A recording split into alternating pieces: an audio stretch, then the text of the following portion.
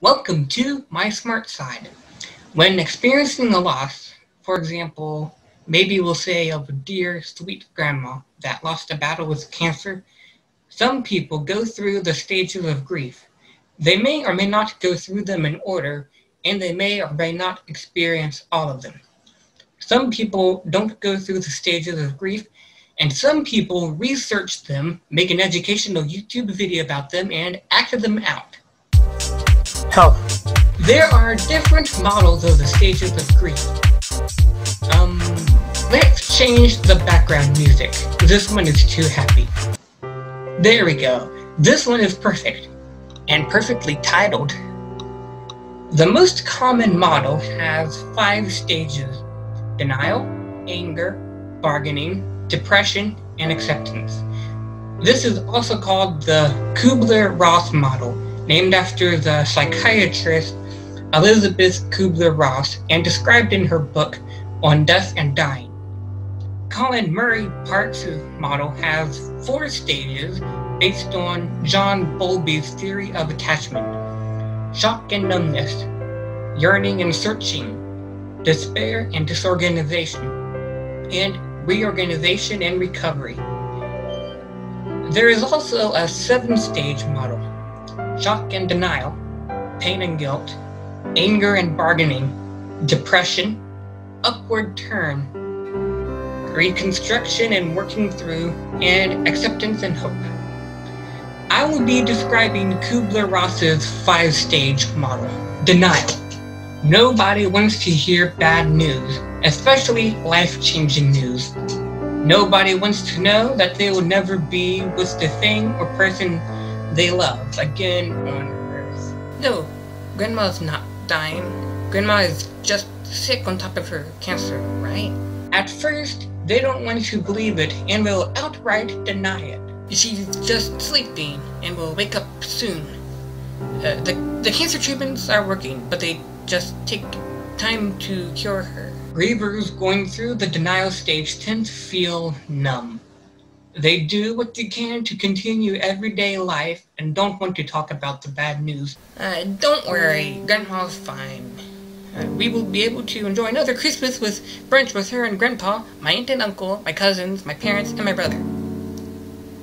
No, I'm sorry. That will not happen. Anger.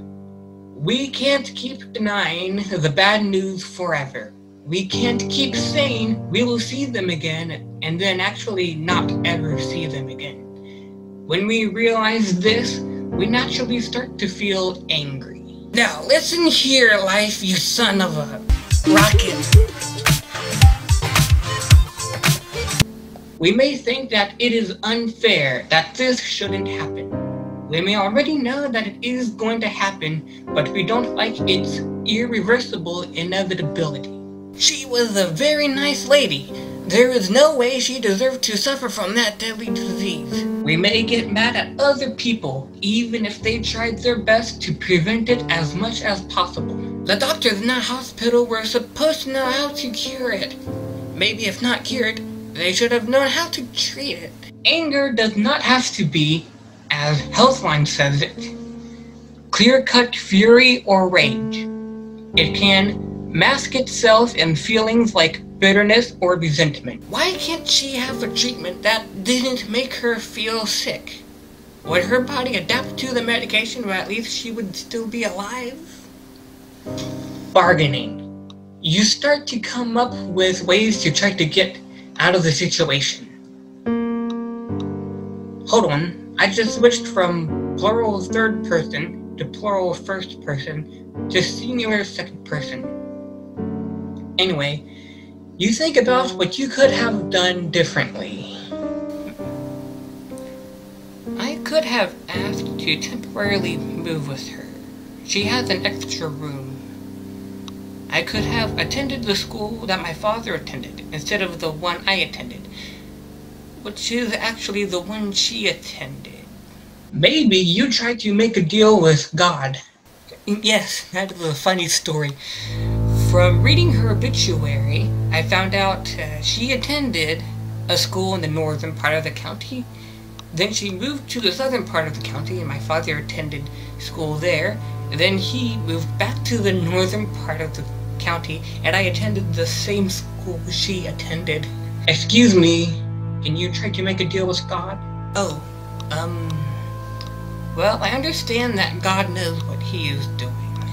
I think that she must be sacrificed for God's plan, but I can try to bargain. Hey, God, if you get rid of her cancer, I will. I don't know. Um, I guess I will discontinue my YouTube channel? No. Convert them to Christian channels? Well, no, they are already run by a Christian. I have tried to bargain, but I can't do it. Oh, I've got it. I know that won't happen. Just, you're not supposed to mention that. Depression. Which person should I choose? I'll choose the singular first person. So, I realized that none of the bargainings will work.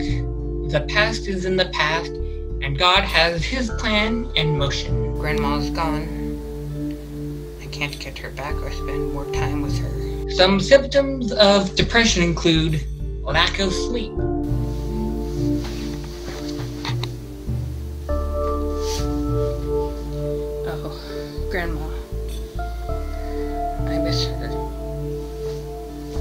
can't see her familiar face anymore. I can't hear her gentle voice anymore. Can't feel her warm hugs anymore. Loss of appetite. She can't come to my house for dinner anymore. She and Grandpa loved my father's grilling. Of course, why wouldn't they? My father's the grill master of our household. They loved my mother's lasagna, especially Grandpa, I think. Grandma can't go to her son's or daughter's house for Christmas brunch anymore. Extreme sadness. Crying. Unable to concentrate on. What am I talking about? You know what? 2020 is a sucky year anyway. I'm gonna say it. Coronavirus. A nice middle aged man, almost elder, who used to go to my church. A nice elder shut-in couple that used to go to my church before they were shut in, together in the same month. A nice elder lady that used to go to Nana's church. A man that did agricultural work for Granddad in a vehicular accident. They all died for different reasons, but none from the coronavirus. Acceptance. He grieved. Now he is ready to face the new normal. Grandma's gone, but it's bound to happen to everybody. Don't worry about him. His Asperger's can make this stage easy. Yes. In fact, I haven't really experienced the other stages significantly at all.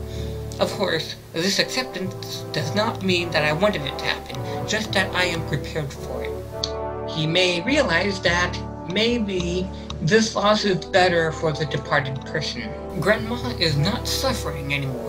She is enjoying the beauty and comfort of heaven. Psycom says that he may get sad again while thinking about the departed person. But the good days tend to outnumber the bad days. If you learn something new, click the like button. If you want to learn more things, click the subscribe button. You will learn more from me next time.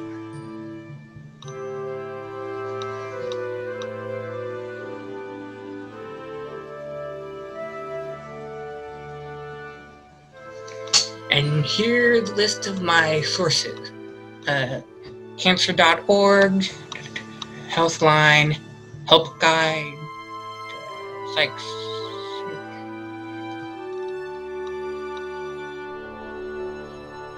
Uh, you can read them. I read them. There's cancer, grief, healthline, health guide, psych central, psycom, therapist aid, Verywell Mind, and Washington, and WebMD.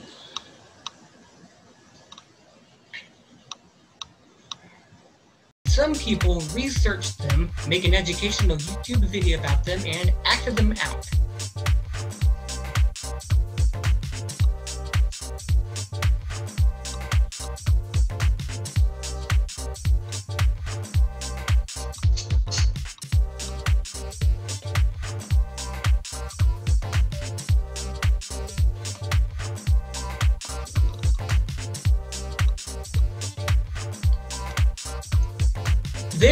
Different models of the stages of grief. I will be describing Kubler-Ross's five-stage model.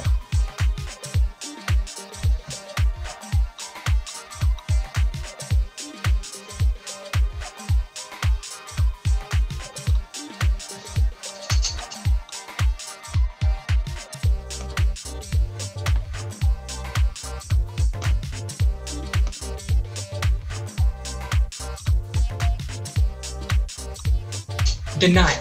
No, I'm sorry. That will not happen.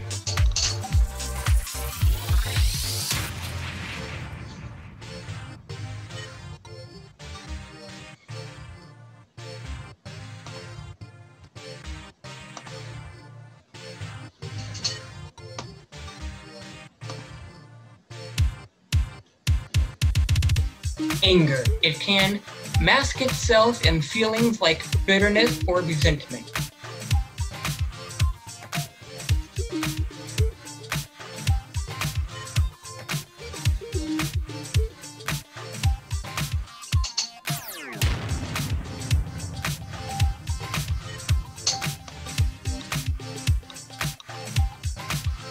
Bargaining. Just, you're not supposed to mention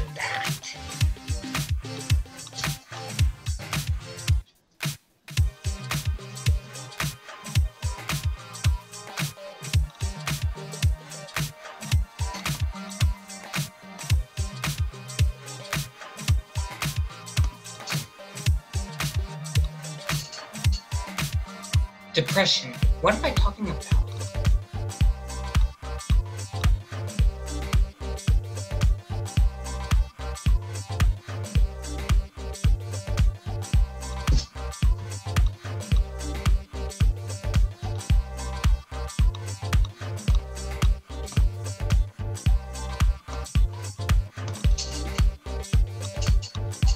Acceptance.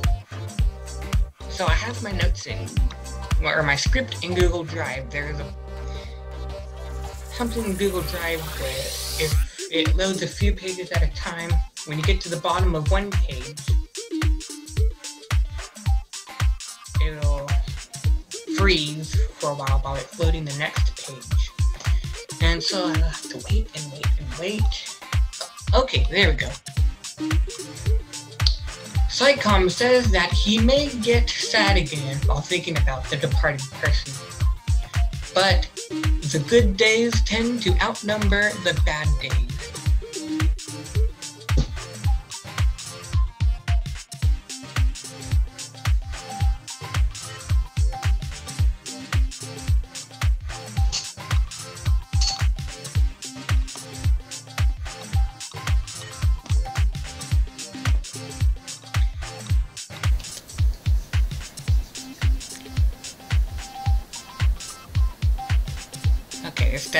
Go.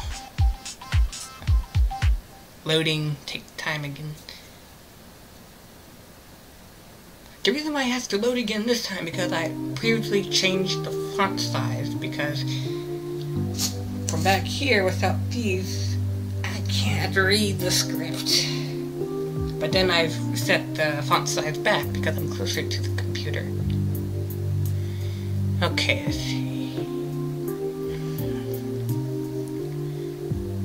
She was a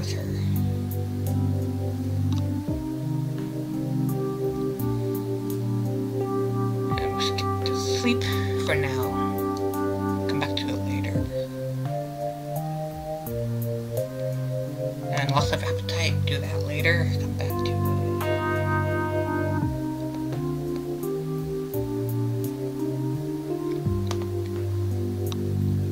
it. You know what? Just now remember to move. I want to bring my computer to my bed so that I can um, read the script.